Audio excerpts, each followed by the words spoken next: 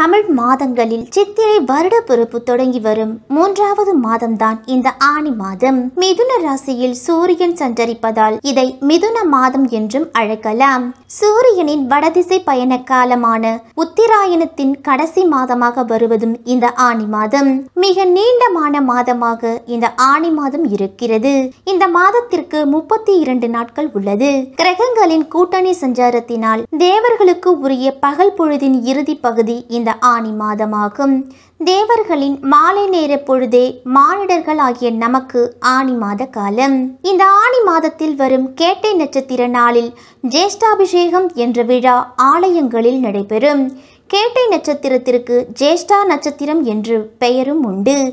இந்த நட்சத்திரத்திற்கு உரிய தேவதை இந்திரன் என்றும் வேதம் சொல்கிறது. தேவர்களின் ஜேஷ்டானான அதாவது மூத்தவனான தலைமை பொறுப்பு வகிக்கின்ற இந்திரன் தனது தலைமை பொறுப்பினை தக்க வைத்துக் கொள்ளவும் தலைமை பொறுப்பினை நிர்வகிக்கின்ற திறனை புதுப்பித்துக் கொள்ளவும் இறைவனுக்கு நன்றி செலுத்தும் விதமாகவும் விசேஷ அபிஷேக ஆராதனைகள் செய்து வழிபடுகின்ற நாள்தான் இந்த ஆணி மாதத்தில் வருகின்ற கேட்ட நட்சத்திர நாளாகும்.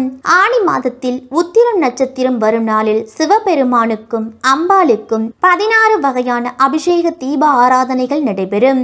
ஆணி மாத பௌர்ணமி நாளில் காரைக்காலில் மாங்கனி திருவிழா நடைபெறும். இந்த மாதம் சூரியன் மிதுன ராசியில் சஞ்சரிக்கின்றார். ரிஷப ராசியில் ராகு புதன் மிதுன ராசியில் சுக்கிரன் ஆணி மாதம் எட்டாம் தேதி கடக ராசியில் உள்ள செவ்வாயுடன் பயணம் செய்கின்றார். இந்த மாதம் குரு பகவானின் வக்கர சஞ்சாரம் ஆரம்பமாகிறது புதன் வக்கர சஞ்சாரம் முடிகின்றது. புதன் இருபத்தி மூன்றாம் தேதி மிதுன ராசியில் பயணம் செய்கின்றார். விருச்சக ராசியில் கேது பகவான் சஞ்சரிக்கின்றார். மகர ராசியில் சனி பகவானும் கும்ப ராசியில் குரு பகவான் வக்கர நிலையில் பயணம் செய்கிறார்கள். இந்த கிரகங்களின் மாற்றத்தால் மேஷம் முதல் மீனம் வரை பனிரெண்டு ராசிக்காரர்களுக்கும் எப்படி இருக்கும்? என்னென்ன பலன்கள் எல்லாம் இந்த ஆணி மாதம் உங்களுக்கு கிடைக்கும் என்று பார்க்கலாம். அன்பான மகர ராசிக்காரர்களுக்கு இந்த ஆணி மாதத்தின் கிரக நிலைகளை ஆராய்ந்து பார்க்கும் பொழுது மாத தொடக்கத்தில் உங்கள் ராசிநாதன் சனி பகவான் உங்கள் ராசியிலேயே வக்ரம் பெற்றிருக்கின்றார். கடகத்தில் நீச்சம் பெற்று சஞ்சரிக்கும் செவ்வாய் சப்தம பார்வையாக அவரை பார்க்கிறார். எனவே இந்த மாதம் சனி மற்றும் செவ்வாயின் பார்வை காலத்தில் மனக்குழப்பம் அதிகரிக்கும். உங்கள் ராசிக்கு இரண்டாம் இடத்தில் குரு பகவான் சஞ்சரிப்பதால் விரயத்திற்கு ஏற்ற வருமானம் வந்து கொண்டே இருக்கும். எந்த காரியத்தையும் கையில் பணத்தை வைத்துக்கொண்டு செய்ய இயலாது. காரியத்தை தொடங்கிவிட்டால் ஏதாவது ஒரு வழியில் பணம் வந்து சேரும். வலிமை இழந்த செவ்வாயின் ஆதிக்கத்தால் உடன்பிறப்புகளிடம் ஒற்றுமை குறையலாம். உத்தியோகத்தில் மாற்றம் ஏற்பட்டும் திருப்தி இல்லாமலும் போகலாம். பஞ்சமஸ்தானத்தில் ராகுவும் லாபஸ்தானத்தில் கேதுவும் இருக்கிறார்கள். எனவே பிள்ளைகள் வழியில் விரயங்கள் ஏற்படும். உடல் ஆரோக்கியத்தில் சற்று அக்கறை காட்டுவது நல்லது. உங்கள் ராசிக்கு பஞ்சமஸ்தானாதிபதி சுக்கிரன் ஆறாம் இடத்திலும் ஆறாம் இடத்திற்கு அதிபதியான புதன் பஞ்சமஸ்தானத்திலும் பரிவர்த்தனை யோகம் பெறுகிறார்கள். இதன் விளைவாக பூர்வீக சொத்துக்களை பிரித்துக் கொள்வதில் இருந்த தகராறு தகராறுகள் அகலும் புதிய பாதை உங்களுக்கு தொழிலில் புலப்படும். வீட்டை விரிவு செய்து கட்டும் எண்ணம் கைகூடி வரலாம். சூரியன் ஆறில் சஞ்சரிப்பதால் பொது வாழ்வில் இருப்பவர்கள் வீண் பழிக்கு ஆளாக நேரிடும். திடீரென உங்களுக்கு பொறுப்புகளும் மாற்றப்படலாம். ஜூன் பதினாறாம் தேதி கும்பராசியில் சஞ்சரிக்கும் குரு பகவான் வக்ரம் பெறுகின்றார். கும்பராசிக்குள்ளேயே இந்த வக்ர இயக்கம் நடைபெறும். உங்கள் ராசிக்கு மூன்று பனிரெண்டு ஆகிய இடங்களுக்கு அதிபதியான குரு பகவான் வக்ரம் பெறுவதால் உடன்பிறப்புகள் வழியில் சில சச்சரவுகள் ஏற்படும். உறவினர்கள் உங்களுக்கு பகையாக மாறுவார்கள். எதிர்பாராத விரயங்கள் ஏற்படும். இடமாற்றங்கள் வீடு மாற்றங்கள் ஏற்படலாம். குடும்ப முன்னேற்றத்திற்கு குடும்பத்துடன் குலதெய்வ பிரார்த்தனையை மேற்கொள்ளுங்கள். ஜூன் இருபத்தி மூன்றாம் தேதி கடக ராசிக்கு சுக்கிரன் செல்கிறார். உங்கள் ராசிக்கு ஐந்து பத்து ஆகிய இடங்களுக்கு அதிபதியானவர் சுக்கிரன்.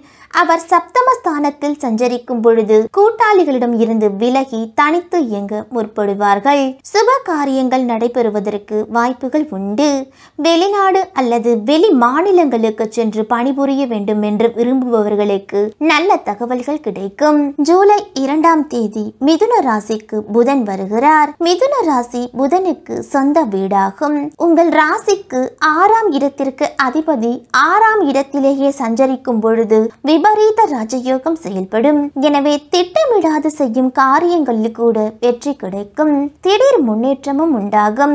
வாகன யோகம் முதல் அனைத்து யோகங்களும் உங்களுக்கு படிப்படியாக வந்து சேரும். நேரம் என்றே கூறலாம். இம்மாதம் ராமர் பட்டாபிஷேக படத்தை இல்லத்து பூஜை அறையில் வைத்து வழிபட்டு வாருங்கள். பெண்களுக்கு இம்மாதம் ஏழரை சனியில் சென்ம சனியின் ஆதிக்கமும் செவ்வாயின் பார்வையும் இருப்பதால் ஆரோக்கிய தொல்லைகள் அதிகரிக்கலாம். கணவன் மனைவிக்குள் அனுசரித்து செல்வதன் மூலம் குடும்பத்தில் அமைதி நிலவும். பிள்ளைகளை உங்கள் மேற்பார்வையில் வைத்துக் கொள்வது நல்லது. பணிபுரியும் பெண்களுக்கு திறமைக்கு ஏற்ற அங்கீகாரம் கிடைப்பது சற்று கடினமாக இருக்கும். முருகப்பெருமான் வழிபாடு உங்களின் முன்னேற்றத்திற்கு வழிவகுத்து கொடுக்கும். உத்திராடம் இரண்டு மூன்று நான்காம் பாதத்தில் உள்ளவர்கள் சாதுரியமாக பேசி சகல காரியங்களையும் சாதிக்கும் திறமை உள்ளவர்கள்தான் இந்த உத்திராடம் நட்சத்திரக்காரர்கள்.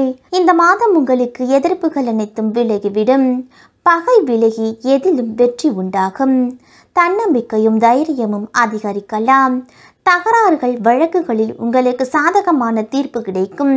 நன்மை தீமைகளை பற்றி கவலைப்படாமல் எதையும் துணிச்சலாக செய்து முடிப்பீர்கள்.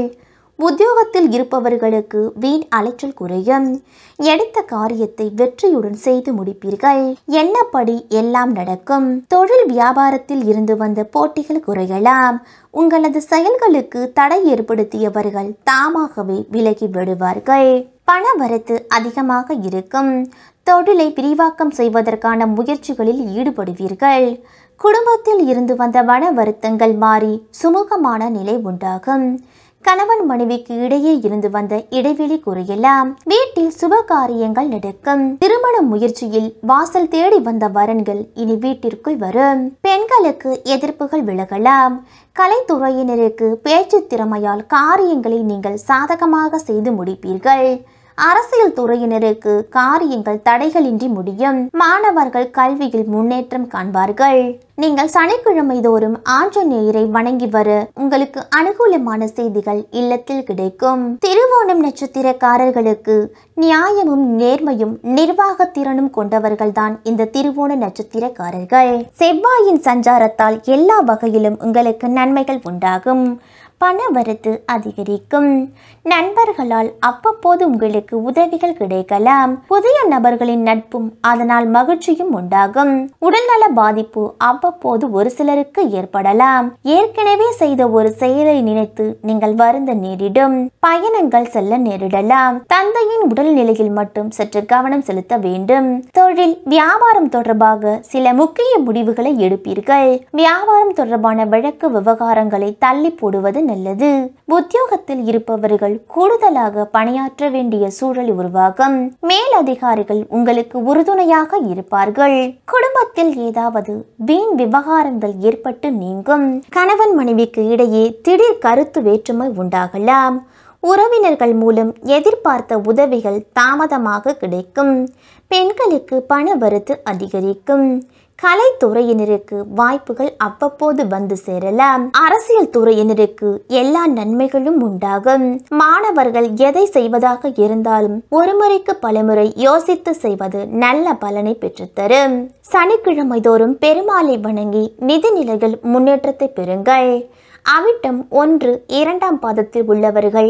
அனாவசிய செலவுகளை நீக்கி அத்தியாவசிய செலவுகளை மட்டுமே செய்பவர்கள் தான் இந்த அவிட்டம் நட்சத்திரக்காரர்கள். இந்த மாதம் வரவுக்கு ஏற்ற செலவு இருக்கும். விரும்பியது அனைத்தும் உங்களுக்கு கிடைக்கும். அதே நேரத்தில் அதற்கான கூடுதலாக முயற்சிகளை நீங்கள் மேற்கொள்ள வேண்டும். பயணத்தில் சிறு சிறு தடங்கல்கள் ஏற்படலாம்.